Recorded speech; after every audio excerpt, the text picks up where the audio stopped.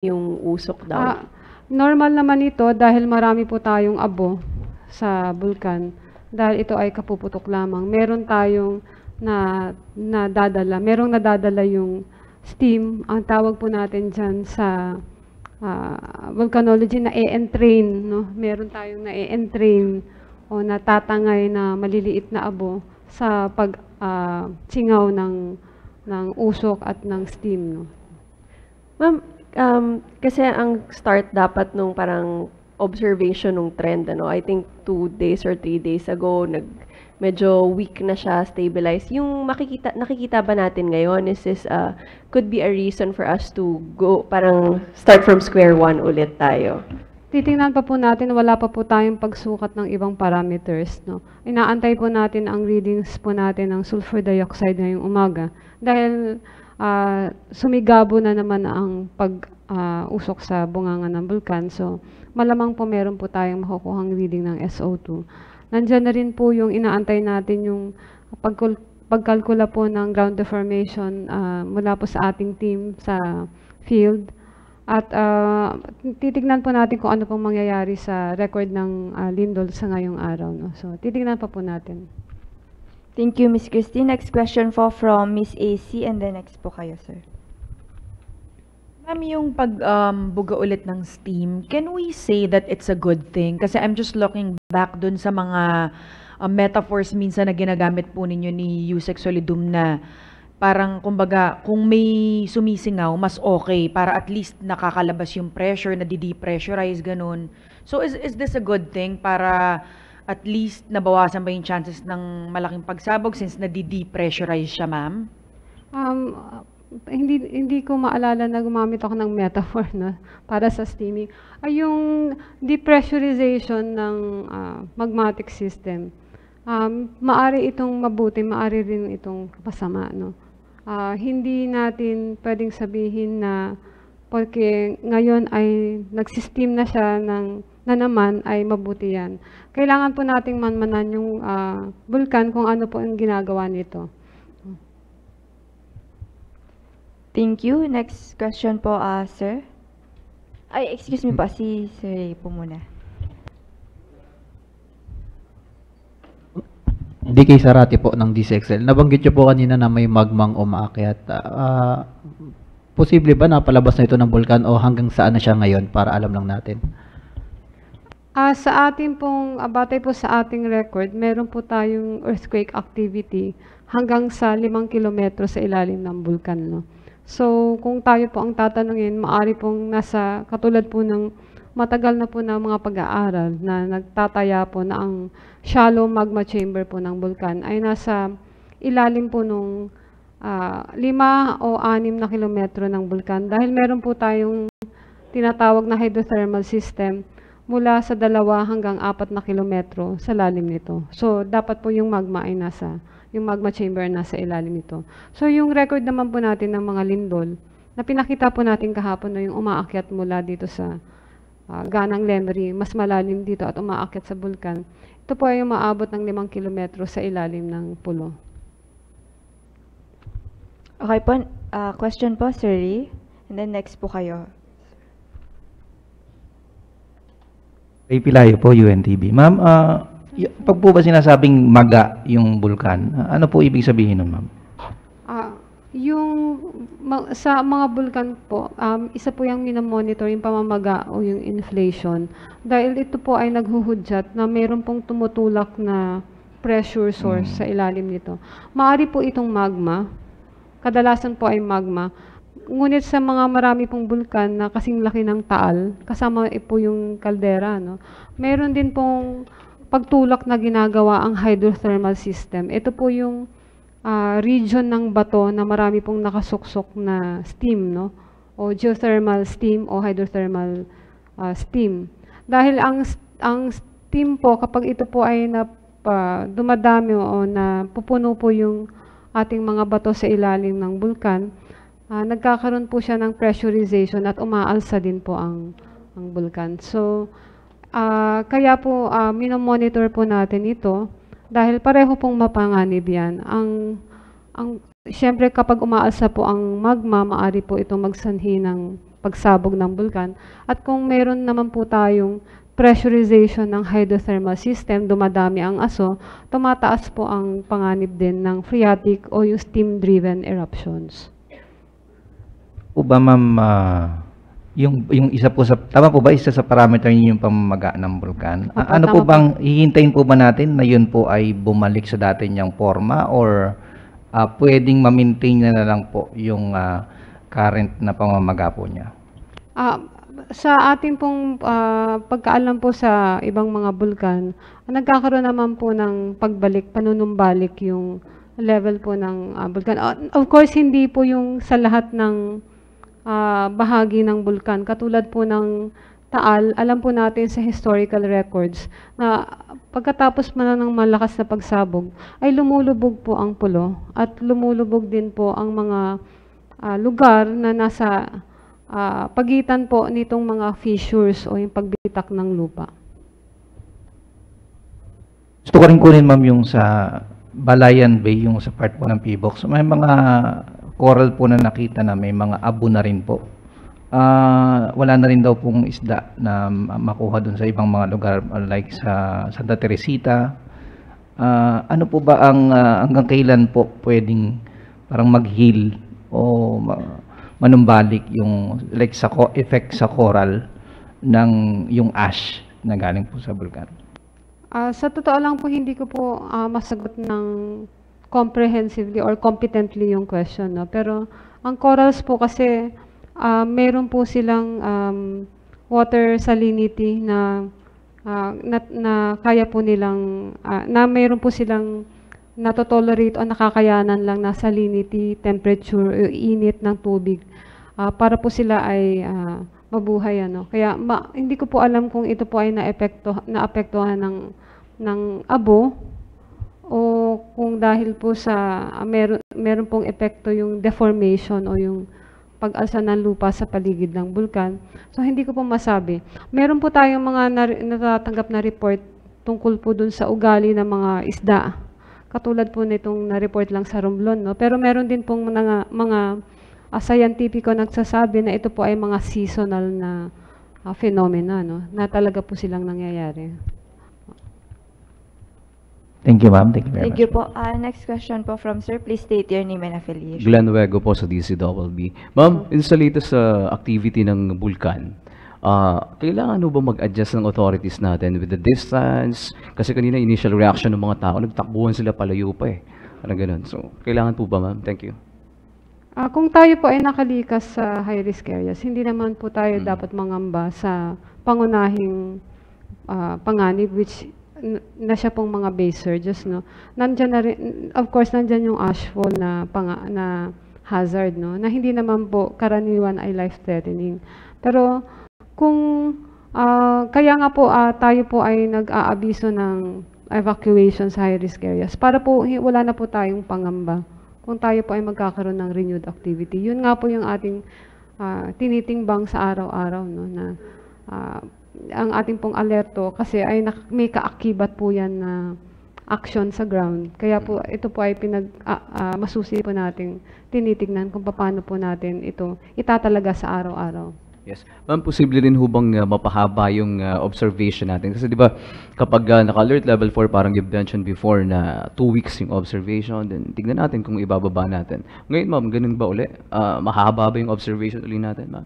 Ah, kapag kailangan po kasi kung magkakaroon po tayo ng downtrend o yung pag ah, hina po at ah, pag, pagbaba po ng ating mga monitoring parameters, ah, dapat po iyan ay dire-diretso. Ano? Kapag nagkaroon po tayo ng panibagong activity na significant no at pagbabago po sa ating parameters, ah, of course magbabago rin po ang ating bilang ng magre-reset po tayo no dahil ah, baka po ah, ah, mayroon na pong mga kasunod sa mga susunod na araw ay mayroon nang mangyari no. Hindi po natin pwedeng sabihin ah, ah, kailangan po natin tignan yung assessment natin. Kailangan po natin mag-assess magsuri ng ating pong mga datos sa araw-araw. So, araw-araw po tayo na Mm. kailangan magbigay ng ah, ng ah, advice at ng ah, mag-assess ng alert level. Yes, yes. Ma'am, can we consider the latest uh, significant?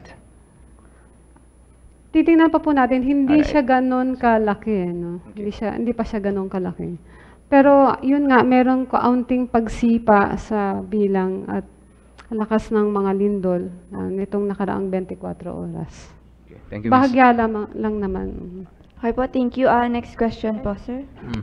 DK Sarate po ulit ng ah, DCXL Armen Manila. Yung ah, usok na nakikita ngayon, saan ito mga bayan na napupunta at saka ano yung posibleng epekto nito sa tao? Ah, sa ating pong ah, batay po sa ating ah, forecast sa pag-asa, ito pong ah, mababa lang po ang ah, pluma, no? Kaya po kung mas mababa sa 5 kilometro, maaasahan po na kung magkakaroon ng abo, ito po ay babagsak sa kanluran at hila at hilagang kanlurang bahagi ng bulkan. So sa mga bayan po ito ng Agoncillo, ah, Lemery, Laurel, at ah, maari pong ah, Taal at San Nicolas. May may, Akalakarin pala po, no? maari pong umabot i- ng may babagsak ba ito sa kalupaan o may epekto ba sa tao?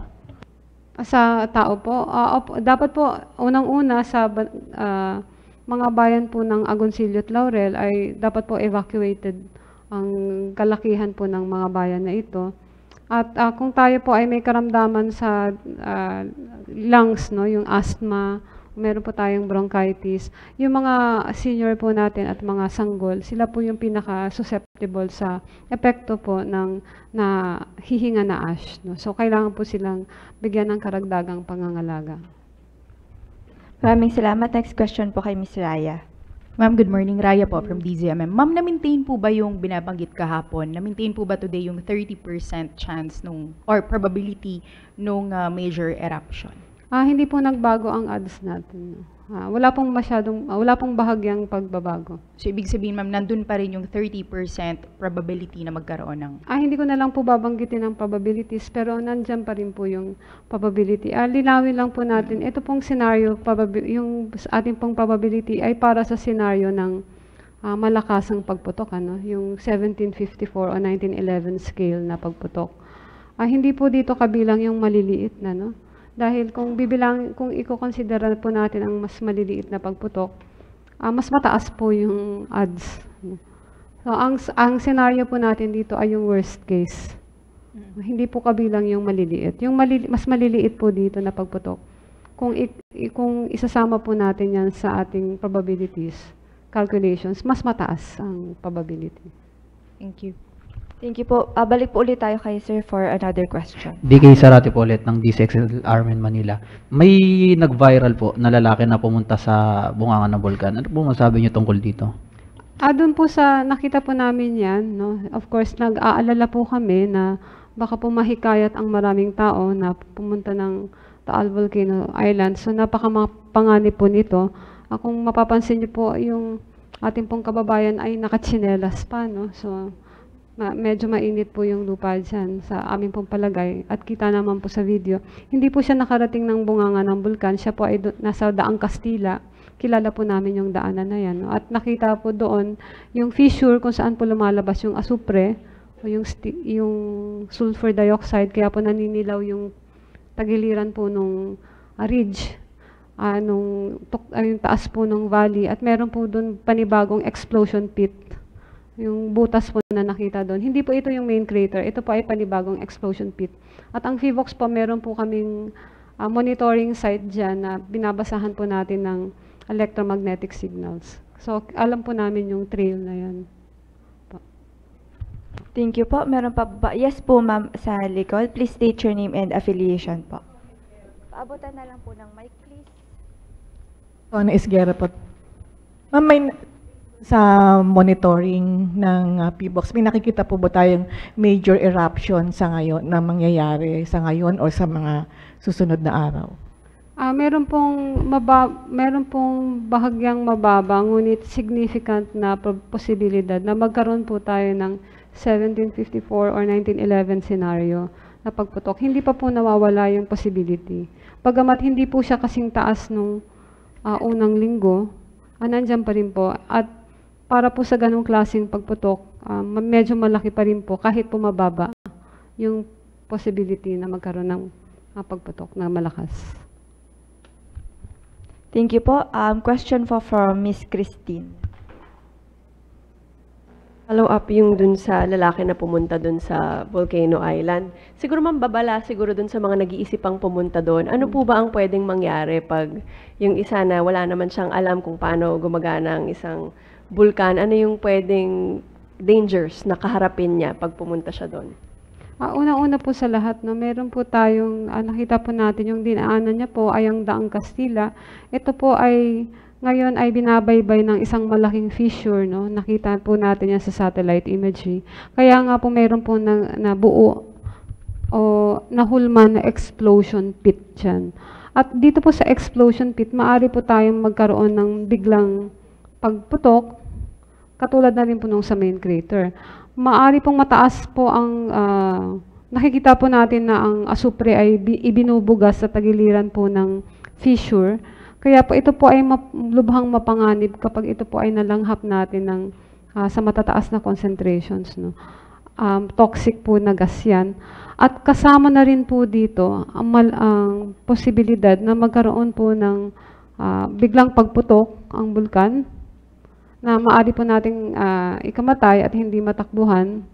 At nandyan na rin po ang posibilidad na bigla pong pag, ah, ah, pagsaboy o pag, ah, pagbuga ng, su- ng carbon dioxide. Ito po ay isang volcanic gas na walang amoy, walang kulay, ngunit ah, mabigat po ito at humahalili sa hangin kapag ito po ay binubuga ng bulkan at maaari po tayong ma-asphyxiate. No. Ang, ang carbon dioxide po ay mataas na ibinubuga ng taal. Kaya po nung bago po tayo magkaroon ng pagsabog, ito po yung volcanic gas na ating minomonitor. Hindi po natin masukat yung sulfur dioxide dahil ito po ay natutunaw sa tubig lawa. No? Sin- yung carbon dioxide po, nasusukat natin at mataas po siya para sa isang bulkan. Thank you po. Next question po from Miss AC. Um, um, yung layman term lang natin, ma'am, yung explosion pit. Ano yun? Um, parang dahil sobrang laki na nung fissure, oo, pwede nang magkaroon nga ng explosion doon. Ah, dahil po yung fissure, ah, ito po ay isang bitak sa lupa na nagmumula po siya sa main crater. Kaya po kapag meron po tayong activity sa main crater, katulad na lang po nung mga nakaraang pagsabog ng magma, nag, ah, bumipitak po yung crater at meron pong lumabas doon na ah, materyales. Ah, may magma siguro o may kasam o aso o steam na may kasamang abo at binutas niya po yung gr- yung lupa no? Kaya po explosion pit. So may nagkaroon tayo ng pagsabog ng steam o nung magma doon at nabutas yung lupa. Kaya po explosion pit.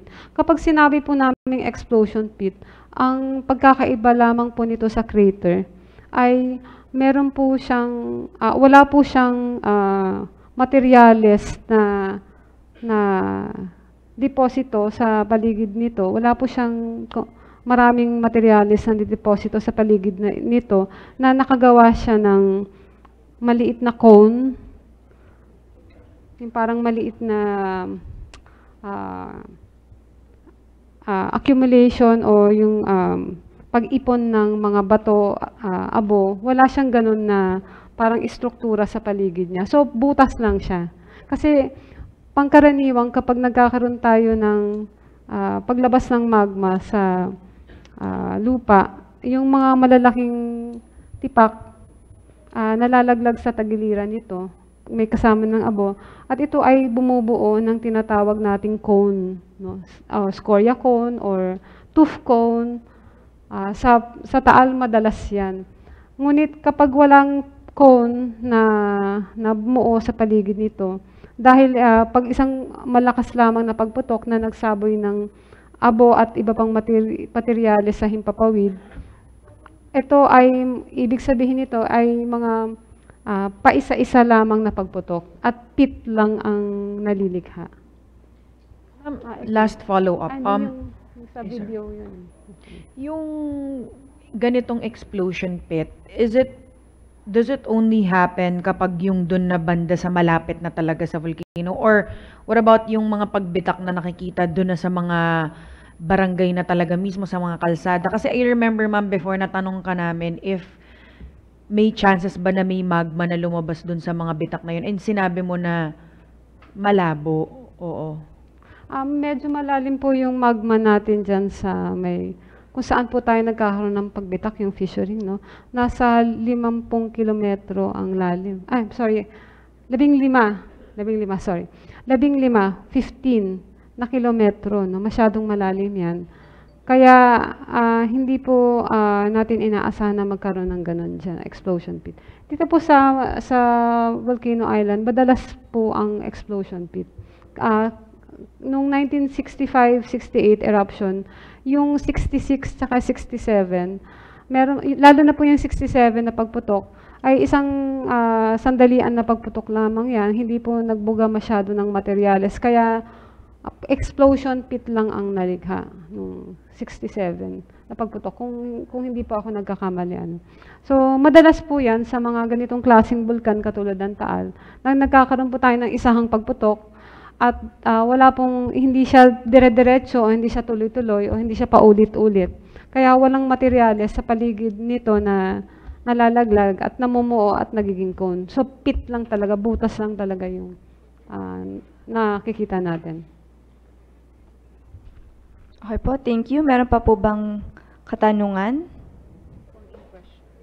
Ah, meron po palang phone-in question dito, ma'am. The Taal smoke this morning is not or is a prelude to a major eruption. Please explain. The Taal smoke this morning is not or is a prelude to a major eruption. Y- yung the the ash the steam itself we cannot say that it is a prelude no. And it's not that uh, simple. So we have to look at other parameters. Uh, it may be one indication but it's really not uh, by itself. Uh, uh, we cannot say by itself that it is we have to look at other parameters so uh, steam from the volcano is normally controlled by the interaction of yung water, sa groundwater sa ilalim ng vulkan, beneath the volcano, the groundwater system there, and the magma or the hot rocks around the volcano itself. So, Okay po, wala na po bang katanungan? Kung ganun po, maraming Thank you po. salamat po. ah, maraming salamat po.